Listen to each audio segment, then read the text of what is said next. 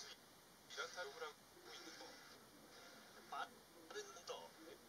정말 이상공에 굉장히 좋은 모습 골을 빠져나가지 못하군요 페드로이아의 조수에 걸리면서 김현수가 첫 번째 타석을 범퍼했습니다